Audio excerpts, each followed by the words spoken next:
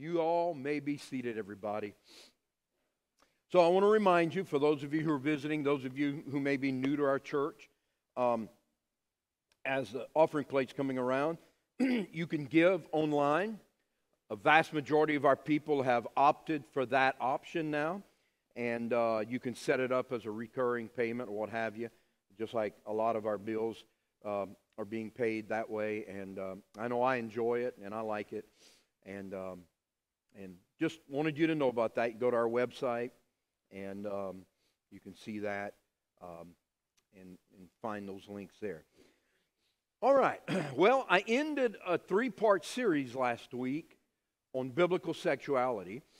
And my intention for today was to preach a one time standalone message about JBC, the biblical model. I mean, um, and I'm going to explain that in just a moment. Or what's the DNA of our church? Now, in a couple of months, I will have reached the 27 year mark as being your pastor. Thank you for sticking with me. I was 29 years old when I got here. And I look back and I think we did a lot of things right and I did some things wrong. And you were very patient with us. And we've had some folks that moved on and God moved them to other places. And I'm so grateful that our relationship with just about all of those folks are in tremendous standing. And we love our past members of JBC, perhaps who are going other places and, and who have found other places to serve. Now, if any of them are watching, those of you who don't go anywhere else and used to be part of this church, you know you can always come home. You can always come home. But after 27 years, and, and I want you to understand the spirit in which I say this. I don't say this arrogantly, I actually say it with humility in my heart, knowing that it's taken me a long time. But I would think after 27 years, as a pastor, I should have a bead on what makes us who we are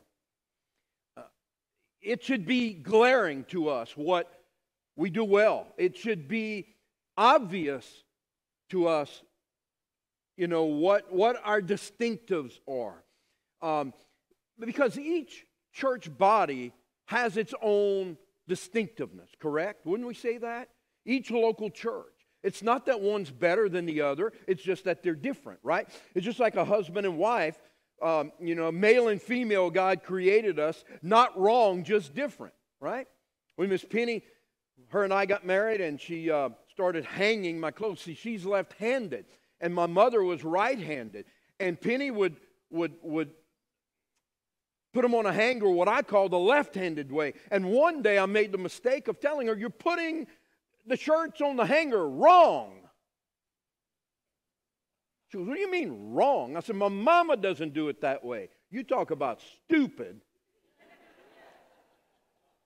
hey, I've got stupid tax in my life, okay? I've learned the hard way on some things. And I learned pretty early on that it wasn't wrong, just different. And in the same way, in churches, it's not that some churches have it, you know, better than the others. Yeah, there are some there are some churches that are on the brink of death and unfortunately, they're, they're in a bad situation. But, you know, I'll tell you one thing that's happening all across America. You probably don't know this because, you, you, you know, I live this every day. But there is a national spirit of revitalization taking place among churches that are dying or dead. And they're open, opening themselves up to starting fresh and anew in the modern world that we live in.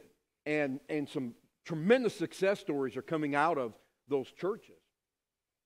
So, with, with all of that, I started thinking, and I do this about every two to three years. I do it on a, on, a, on a slight version once a year.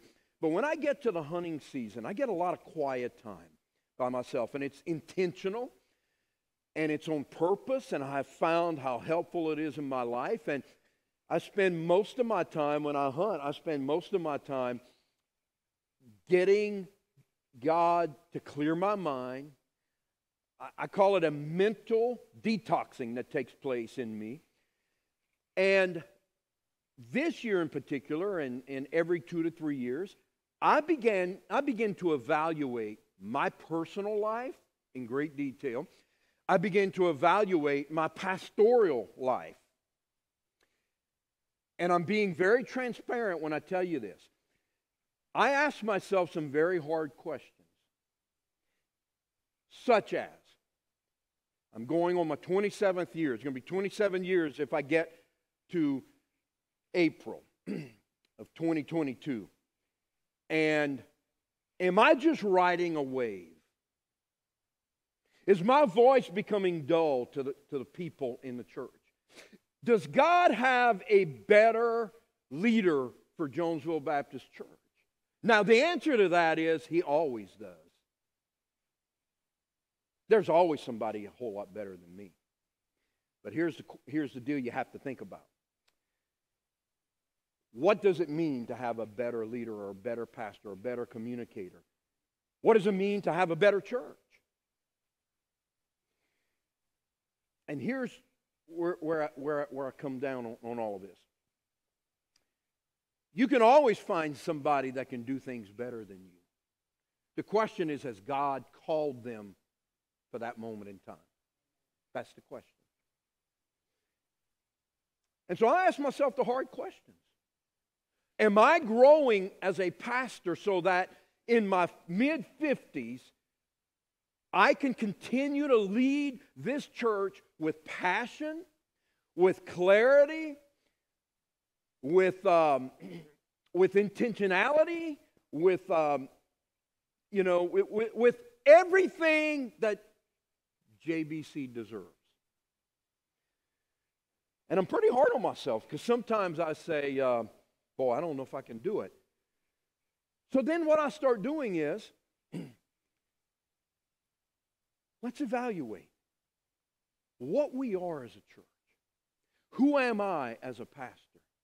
Why have we stayed together for 27 years? And why should we stay together another 27 years? and one other thing before I jump into the message. I'm at the point in my life where I've thought about this the last five years. I'll probably never pastor another church as long as I live. That's where I'm at. That's what I hope. That's where my prayer is. I mean, if I stayed this long, man, let's just go for it. Right? So I've got to think about it. I want to get in a little bit better health. What can I do to increase my energy? All of those things I think about. And in the process of doing all of that, God gave me some things. And I shared it with the staff last Saturday night and, and, their, and their spouses. Kind of loosely put together. And in the last week, I've been able to refine it. So, what, what was going to be one message has turned into three for sure, maybe four.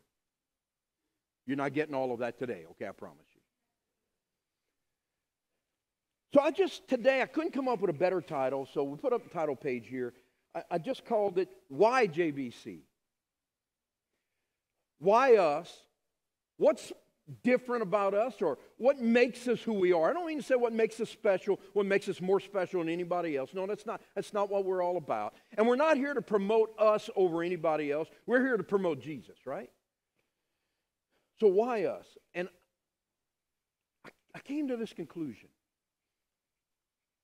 I think over the years we've been very intentional about doing it biblically. Everything we do, we strain it through the strainer of biblical truth. And we've been able to just say, you know what? That's not really who we are. That's not biblical. We tried it, you find out it's not right, and you move on. We made some mistakes and things like that, but that's, that's part of growing, right? And you realize, okay, that's not, that's not us. And then you move on from it. People ask me, why, why do we do such and such for only two years and we don't do it anymore? Because it doesn't fit who we are and it, it doesn't fit the model biblically.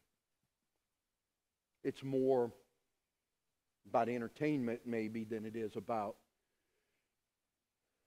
worship and all of the things that, we, that we're going to talk about in the days to come. Okay? So take your Bibles, go with me to 1 Thessalonians chapter 1, verses 2 and 3. Stand together with me. 1 Thessalonians chapter 1, verses 2 and 3. Um, in the greeting, Paul and Silas and Timothy, and he's writing to the church at Thessalonica. Difficult word to say for me. And in verse 2, it picks up, and this is what Paul is saying. He says, We always thank God for all of you. Listen, in my time of evaluation, I gain a deeper appreciation for you. It is my great honor in life to serve you. I don't want to serve another people. I want to serve you and any of the new people God brings us. That's where I want to be. You're my family. And so Paul says, we always thank God for all of you and continually mention you in our prayers. We remember before our God and our Father your work produced by faith, your labor promoted by love, and your endurance inspired by hope in our Lord Jesus Christ. Let's pray. Lord, thank you for the truth of your word. And thank you for the Thessalonian church and how Paul was able to lay out the DNA there and the distinctiveness of that local fellowship. And he was very clear about what they did and, and who they were. And I see the similarities in who we are. And so I thank you for that. I pray that in this message, it's not self promotion or self promoting us as a, as a church, it's reaffirming what we are biblically and that we're doing it according to Scripture. Thereby, we're a New Testament fellowship. We are an ecclesia, a church, the church of the living God at Jonesville, in this community, in this area. And we prayed in Jesus' name. Amen. And you may be seated. All right, so why JBC? JBC, a biblical model. Let me tell you why. Number one, I believe it has to do with our work. I believe it has to do with our work. If you look at the first thing here, our work. In verse 2, uh, uh I'm sorry, in verse 3, Paul says that he goes, We remember before our God and Father your work produced by faith your work produced by faith. So, our church is not just here to entertain, it's not just here to, uh, to just be here and to exist. There's a purpose behind everything that we do. And the first thing we see based on this passage is the Thessalonian church. They were known for their work, and that work was produced because of the faith that they had in Jesus. There's a lot of good work that can be done out there, right? Now, don't misunderstand what I'm getting ready to say. I'm grateful in America that we have a lot of uh, nonprofits that are not necessarily church based or Christian based, even though the, the, principles might come from, from, from church, you know. I mean, you have, you know, um, all these organizations. I'm not going to name them, but you can think of the local organizations that we have, and a lot of them do a lot of good things. And I'm not against that. That's good. Support a lot of it as much as I can. But the church is unique. Okay? The church is not just trying to help someone in their physical need. The church is trying to transform somebody's life through their spiritual needs. And you help do that by meeting some of the physical needs. Jesus said, if you give a cup of cold water to someone in my name, I mean, give, give a cup of cold water to somebody, you do it in my name. meeting needs so that you have the opportunity to share the love of Jesus with them. That's, that's what we do. But our work is different because our work is founded on the gospel of our Lord Jesus Christ. It's produced by our faith.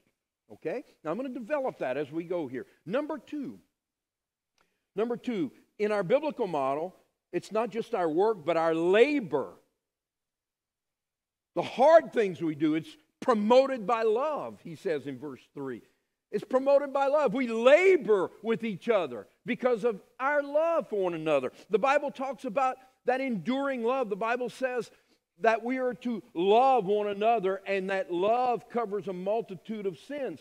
And the reason we can labor with each other and put up with each other is because of our deep love for one another.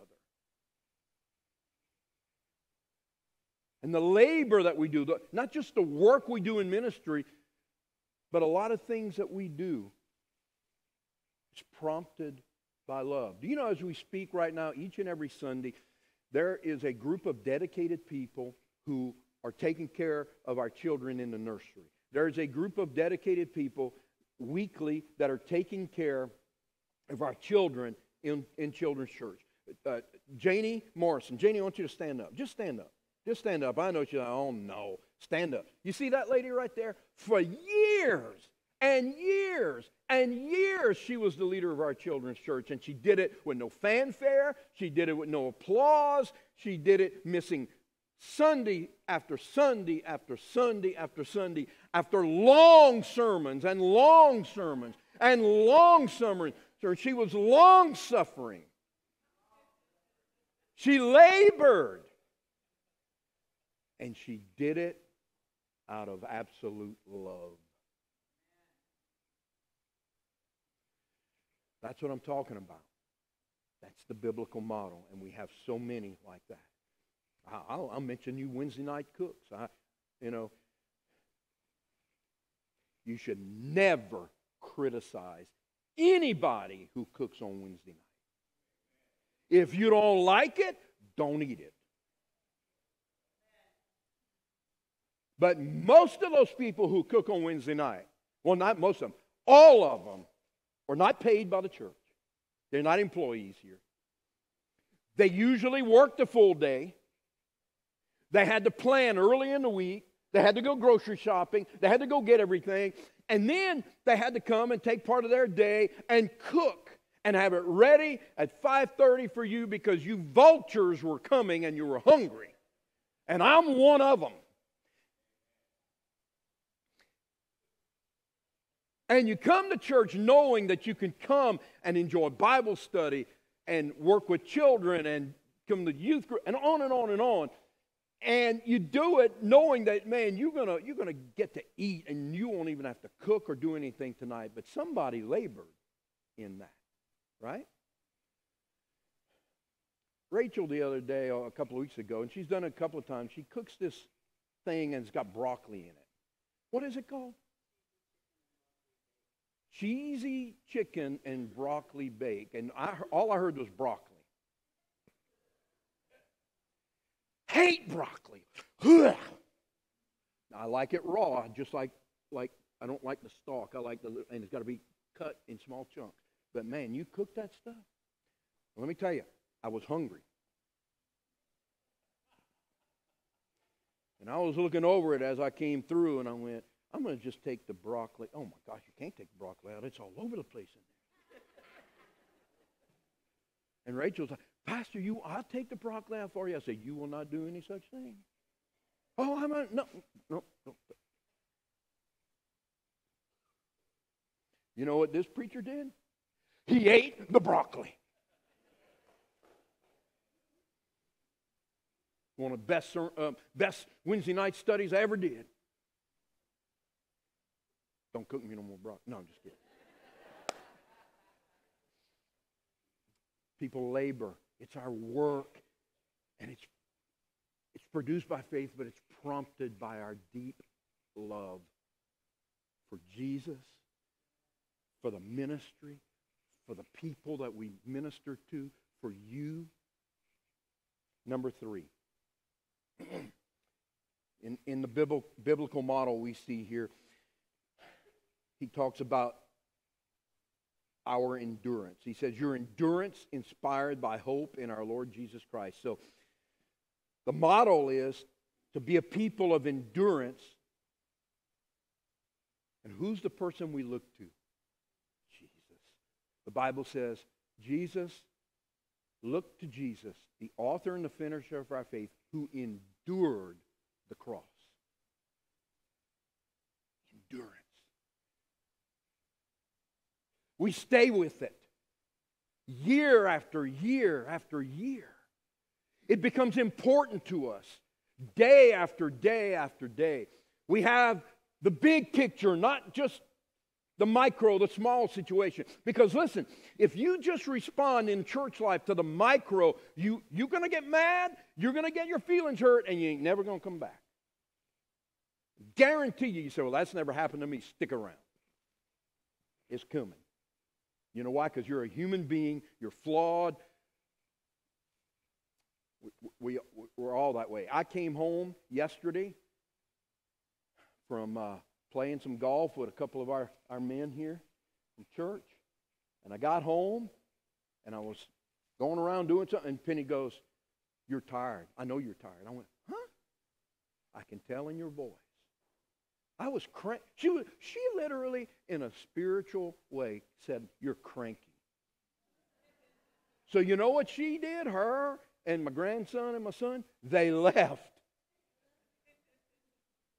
Oh, we're going to visit somebody. Good, I'm going to take a nap. she was right. I was cranky for some reason. And you're going to, it's going to happen.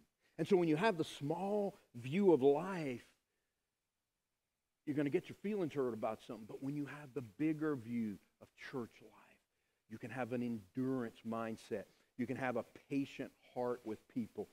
You can, it's just, it's, and, and when you see it that way, and you see everybody as part of your family,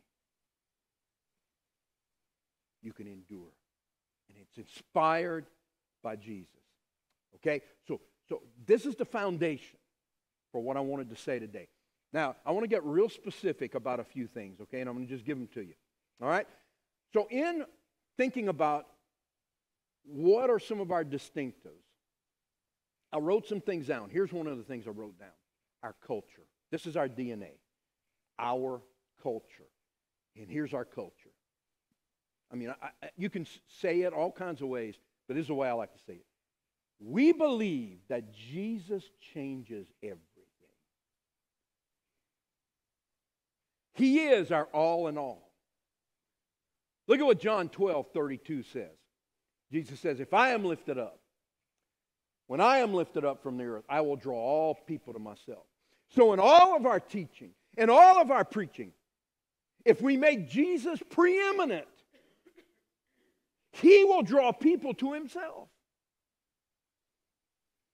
And the culture that has been established here over many years by you and by me and all of us together following the Bible, Jesus is the one that we proclaim. This isn't Brother Corey's church, this is Jesus' church.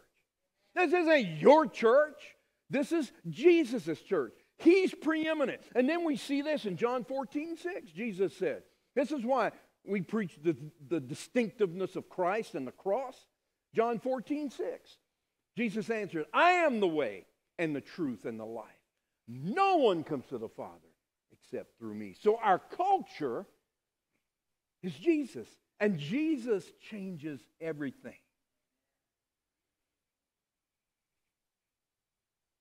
Jesus can take a person that has racial hatred in their heart. And the moment he comes into their life, they're instantly changed.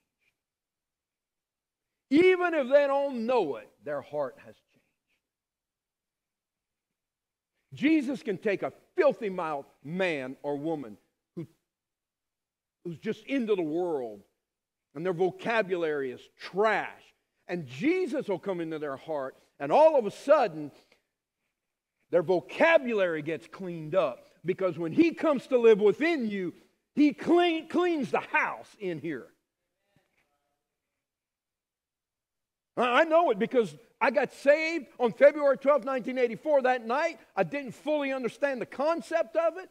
But the next day, when I went to school and got with my buddies and we talked the way we talked, the first word that came out of my mouth was a cuss word and it cut me to the heart. And, every, and when I heard them saying it, I've never felt that way about those words ever before. And I knew something inside of me had drastically changed. It's as simple as that. He changes everything. I was telling the, my Sunday school class today, I was a shy little boy, a shy teenager. You know, one of the few electives when I was in junior high, in my day, that's what we called it. We didn't call it middle school, junior high. Seventh, eighth, and ninth grade. First time I discovered cheerleaders. Seventh grade. Oh, okay. Just being honest, don't you? If you read the Facebook post today, I said I'd be very transparent. And in junior high, we had classes and electives you could take. It was the first time ever. I was like, whoa, and we didn't have many, and all my friends were taking speech. Well, Corey, how come you're not taking speech? I will never, listen to me, never need that. I will never speak in front of people. I'm going to be a shrimper. And all I'm going to talk to is the shrimp and the guys on the radio and the people at the shrimp shed. And I'm going to get married and I'm going to drink my beer and I'm going to be happy and I'm going to leave everybody else alone. And that's what I'm going to do in my life. Why do I need to take a class called speech? Woo-hoo, God had other ideas. Jesus called this shy, not very bright, not noble, little sinful teenage boy, and he saved him and changed him from the inside out. And he called him to preach, and I went, what? Huh? Me? He changes everything. You think your marriage is a mess? It may, might be. You put Jesus first in your relationship. I guarantee you, I'll say it even like Justin Wilson, the old Cajun cook. I guarantee Jesus will change a marriage. He changes everything. When Jesus touches something, it's never the same. Second thing I want you to see about our DNA, not just our culture, but our family focus that we have here. Our one big family mindset. As I read earlier in verse 2 in 1 Thessalonians, where Paul says, We always thank God for all of you and continually mention you in our prayers. All of you we're all part of God's family, and every one of you are important. And every one of you are special to this family. Not all of you are called to be teachers. Not all of you are called to work with children. Not all of you are to be everything that you think you can be. But let me tell you, you are gifted by God to do something, and you're part of the body, and you're very important.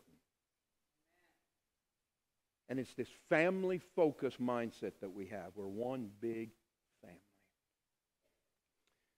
We're one big dysfunctional family who have, who have, we have been made functional by the blood of Jesus Christ. Galatians 6:10. Look at the focus here. Galatians 6:10. Therefore, as we have opportunity, let us do good to all people, especially to those who belong to the what? Family of believers. A true family. I see in our DNA not only our culture, not only our family, but our service to others. I tried something different in, in, in doing this. Put that up there, our service to others. Put the third thing, number three. Yes, there you go. So I'm sorry for the way it changes. Uh, it might be hard to read. Uh, I'll correct that for next week. But it says here, I saw the orange and blue, and I said, ah, that'll be cool. Anyway, um, it's like well, I'm pr- preparing a sermon, and I see a squirrel, and I just I lose it. But anyway, our service to others. what we do for others matters. So we just read the scripture let us do good to all people.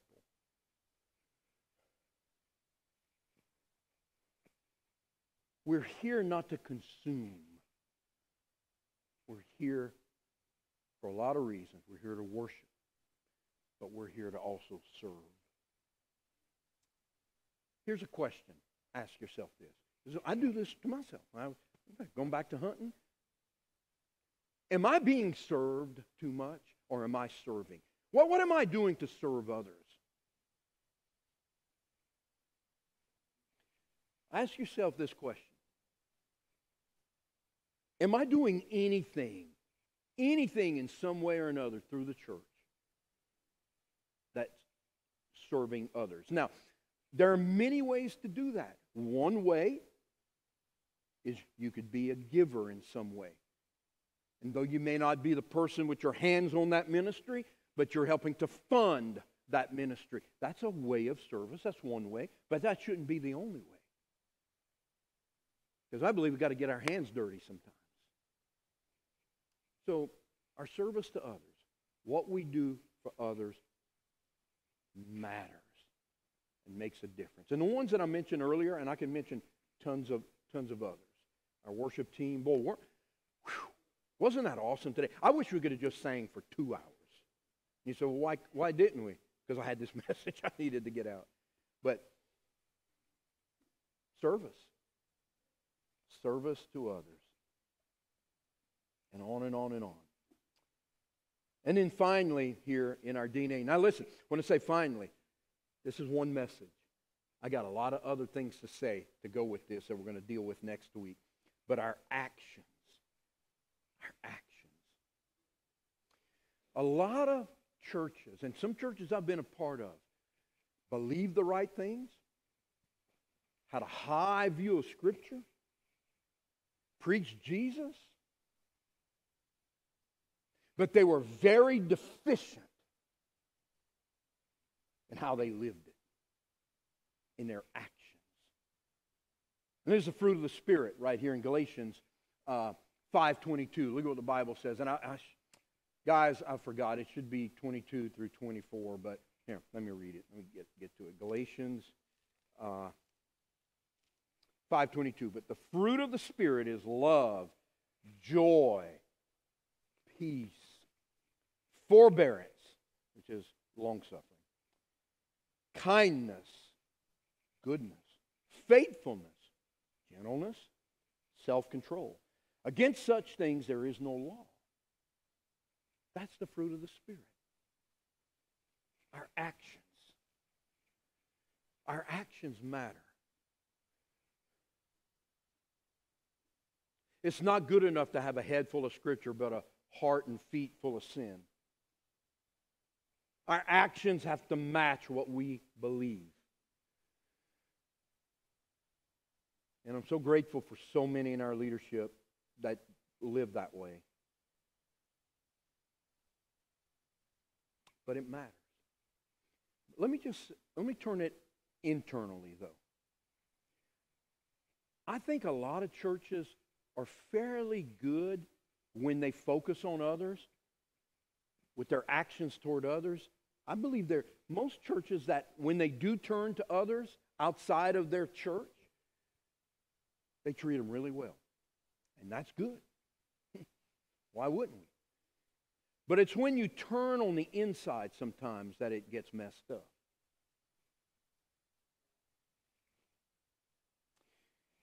Why is it in family life that the people we love the most, we hurt the most?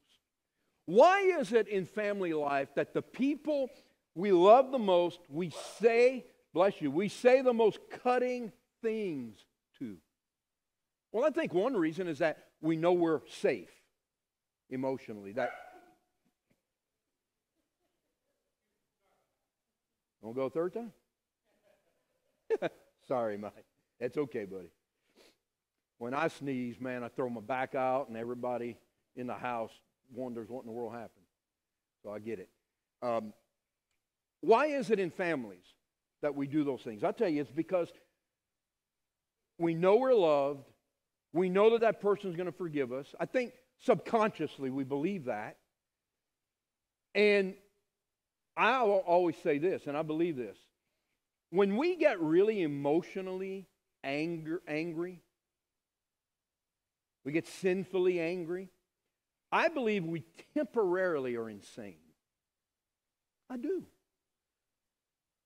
Temporarily, because we, we, our emotions overtake. It's like it floods our brains. It, it floods everything we know to be right, and we go in the opposite direction, and it just it comes out and we say or we act or we do to the very people we love the most. And I'm not saying it's right, it's actually wrong. And the reason I say we're temporarily insane because once the hot passion of that anger simmers down, we get back to our right mind, we feel unbelievable remorse, and we're like, and I'll, I'll tell you, I've said things that my family uh, later said to me, Dad, what you said hurt me. And I went, I didn't say anything hurtful. And they tell me what I said, and I said, I did not say that. And they're like, Oh, yes, you did. And Penny's looking and she goes, Yep. So hot with emotion and anger and passion that I couldn't even remember what I said. So it's important that our actions match what we believe toward each other. It is important how we treat each other. It's not good enough to say, well, he's my brother in Christ, and he'll just get over that by me saying that to him, or she's my sister in Christ. It's not okay for us to just be cutting and hateful and mean when we're in a bad mood and just think that it's all right, and, and, and it's, it's, just, it's just not. It's not conducive with the fruit of the Spirit. And so our actions toward each other matter. And I believe this. I believe in our DNA here at Jonesville, over the years, we've grown together. And I'm going to speak about the concept of growing next week and what all it involves and what all it means to us and what it means for us staying together in the future and all of that. We're going to deal with that next week. But I believe that here at this church, we have a lot of folks that have taken this last point very seriously. It's not a put on when they come to church and treat each other with love. It's not a put on when maybe somebody said something to them that was cutting and they didn't react, they didn't respond, they didn't attack, they just covered it with the love of Jesus and moved on. because they're serious about living with the fruit of the Spirit. It's not an act, it's a serious deal to them. And I'm telling you, when that happens and when that continues in a church, let me tell you what happens. There is a thirst on the outside. People who are not part of us, when they see that and experience that and believe that it's authentic, there's a thirst to want that. People want it. I want to be part of a family like that. I want to be part of a church that doesn't scream and yell and fight at each other and, and mistreat each other. I want to be part of a church that displays the fruit of the Spirit toward each other. As a matter of fact, I want to learn how to be that way. I want that in my life. Man, that is an attractant like you can't believe. And I'll tell you how I know that because I experienced it in my life before I was ever a pastor. It's one of the things that opened my heart up to the gospel was seeing my home church. I never saw people talk to each other so nicely before. And I went home after a couple of weeks of attending that church and seeing, my gosh, they actually they were hugging each other before church. They were happy to see each other. And I'm thinking, eh, this can't be. They obviously they go home and mistreat each other. They go they yell at each other all the time. This can't be real. And so I talked to my dad, and I was telling my dad about that. And it, it, I don't think he's watching, but I'll mention this man's name. And I said, Dad, I saw this big giant of a man named David Carey. And David Carey was just hugging all kinds of people and just being so kind, and he's a leader in that church, and I think he taught children at the time. Maybe he didn't, but I don't remember him. Maybe he taught a men's class. I don't remember exactly that, but I just just it just stuck out in me like this big giant of a man was just so tender and so kind.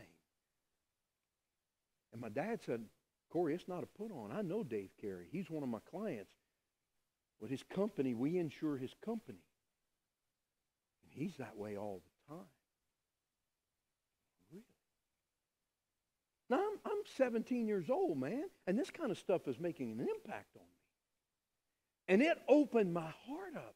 And to be honest with you, it put a hunger and a thirst in me, and I'm like, ah, where can I get some of this?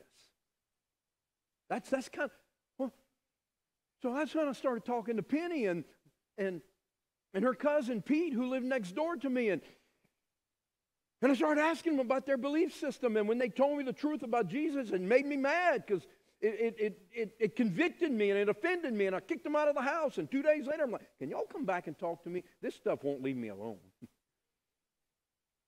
and they did. And I became a Christian. And everything changed. And there's a new way to live. I remember years ago, my brother, who's also in the ministry, who's a pastor in Texas, um, we were all home for, for the holidays back in Louisiana. We were still, we were young, in our 20s, young, young pastors, and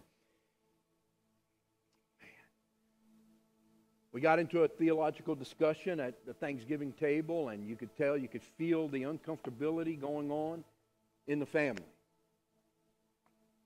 Because they knew us, and they knew it was going to turn ugly. And we could feel it, but we couldn't stop it.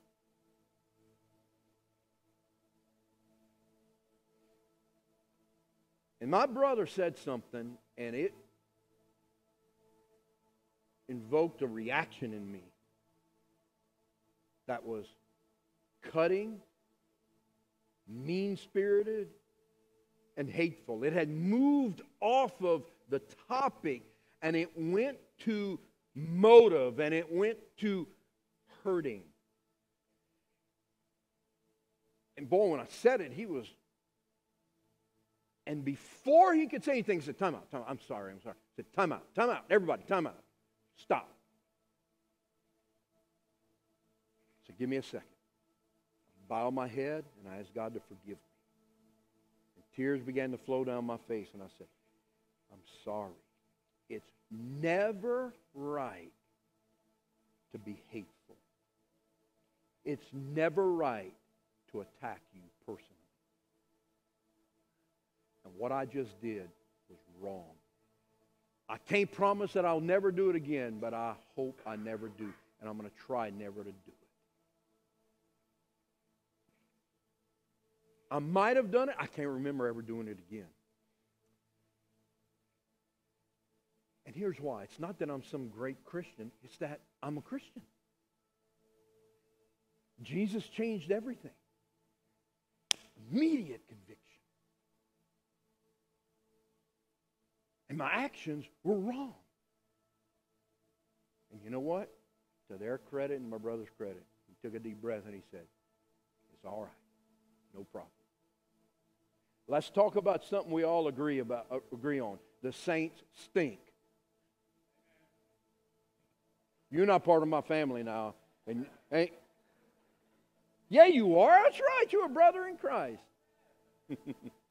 I'm messing with you. Yes, sir. So, y'all, I hope this is making sense to you. I wanted to do a deep dive on the distinctives and the DNA, if you will, of who we are. And to be honest, to check us against the truth of Scripture. And I came up with this title this week Why JBC? Why are you here? Why are we part of this church? Why are you visiting? What do you like about this? What, what brings us together? And I believe it's because whether we we did it intentionally, or I think you can't help but do it when you're following Scripture. I believe that we have a biblical model that fits who we are with our gifts and, and, and so forth and so on. And I believe it's a pretty special place because of Jesus and because of you.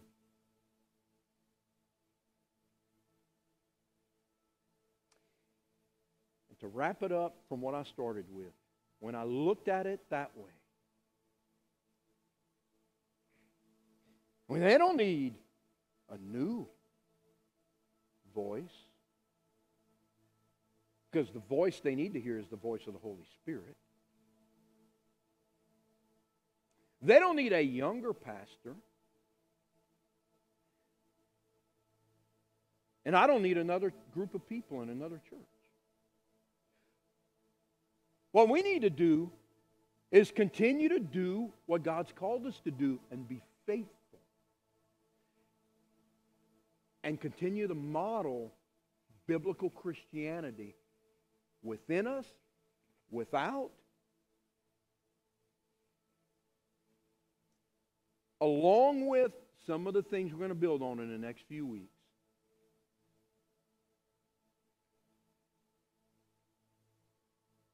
And we can stay together until God calls us home. That's what I believe. I know some of you are thinking, doggone it, thought we'd get us a new pastor like a new coach.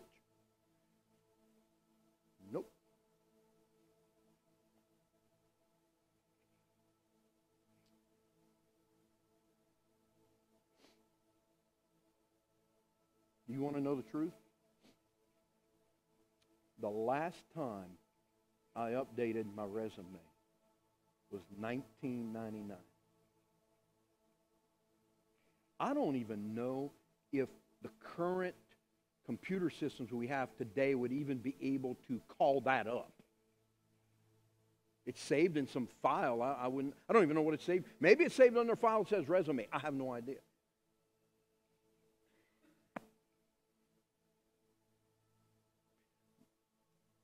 Got to grow where we are. Let's do this thing together, church. Let's do it together. My commitment to you as a pastor is we're going to keep growing this biblical model. And we're going to keep growing together as Christians. And we're going to keep reaching and obeying and following the Lord Jesus and doing what we do. And some things will never change about what we do. And some things will change as methods change. I mean, we do live stream. We didn't do live stream 30 years ago. There's no need for that, right? But we do it. And it's important. And it reaches a lot of people. So, yeah, we'll change models, uh, not models, we'll change methods as we go along, but our model stays the same. It's biblical in nature. I told this to our Sunday school class today the one of the things that I deeply appreciate about this church is the absolute respect and love you have for the teaching and preaching of God's word. Man, you offer so much respect to it. And though after an hour and 10 minutes you're ready to go home and you want me to shut up, you will not let me know that out of respect for the Word of God until after church. so thank you, church. I really don't know what to tell you as far as the invitation. Maybe what we need to do is hit this altar together and just pray that God would keep using this church. This church is, I don't know, almost 160 years old. Been here a long, long time in this community. And it doesn't take long for a church to die.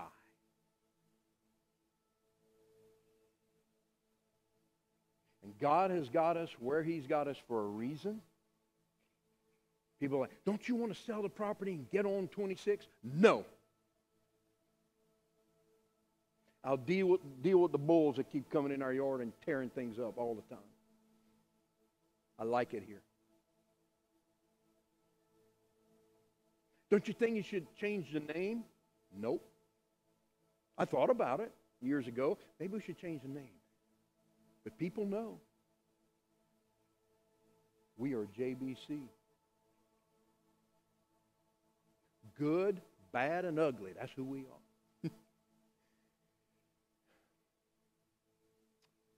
so let's pray that God would continue to pour his spirit out grow us and develop us to be who we need to be. Let's stand together.